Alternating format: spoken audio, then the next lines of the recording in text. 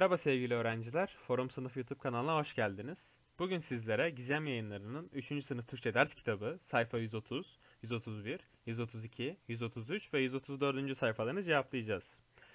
Sayfa 130'dan başlayalım. Birinci etkinlik öğrenmeden önce. Onunla neler yapıyorsunuz? Arkadaşımla teneffüslerde oyunlar oynuyoruz. Yemekler yiyoruz, yiyeceklerimizi paylaşıyoruz. Her zaman birbirimize yardım ediyoruz ve hafta sonları birbirimize giderek vakit geçiriyoruz. Sadece insanlarla mı arkadaş olabiliriz? Sizce diğer canlılarla da arkadaşlık kurabilir miyiz? Niçin?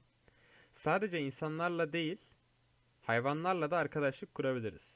Bu bir kedi, bir köpek veya kuş da olabilir. Çünkü onlar da bizi koşulsuz seven, sevmeye ve sevilmeye ihtiyaçları olan varlıklardır. Buradaki cevapları videoyu durdurup kitabınızdaki ilgili kısma veya defterinize yazabilirsiniz. Aşağıdaki renkli kutucuklara arkadaşlık kelimesinin bize neler çağrıştırdığını yazalım.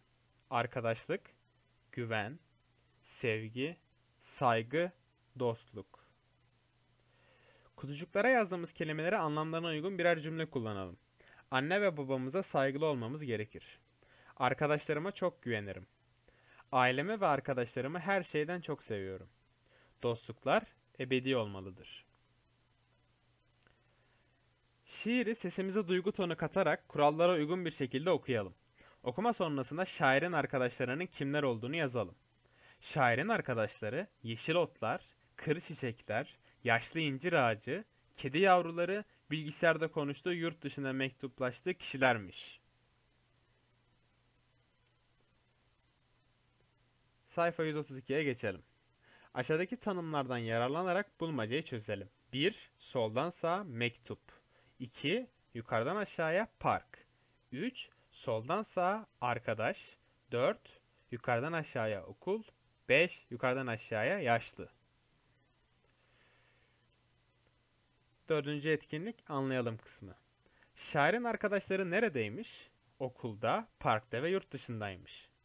Şair yurt dışındaki arkadaşlarıyla nasıl haberleşiyormuş? Şair yurt dışındaki arkadaşlarıyla mektuplaşarak haberleşiyormuş. Arkadaşlarıyla neler yapmaktan hoşlanıyormuş?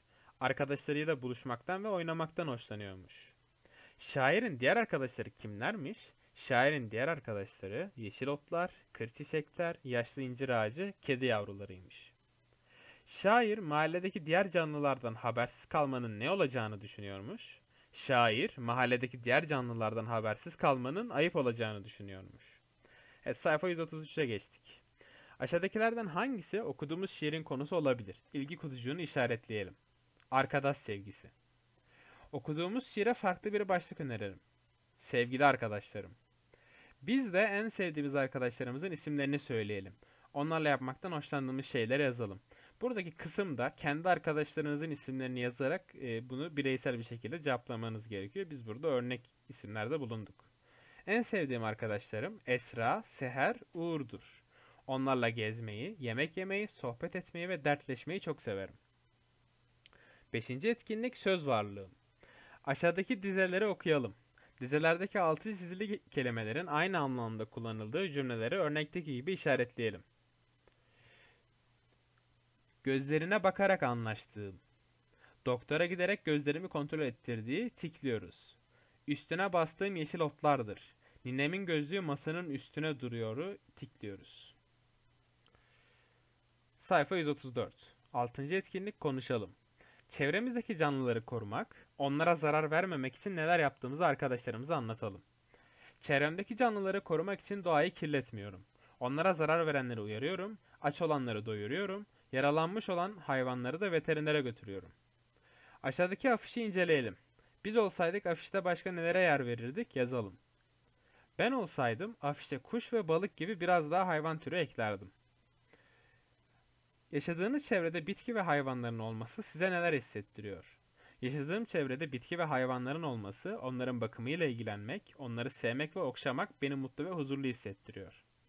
Videomuzun sonuna geldik. Forum sınıfı takip ettiğiniz için teşekkürler. Videoyu beğenip kanala abone olmayı unutmayın. İyi dersler dileriz.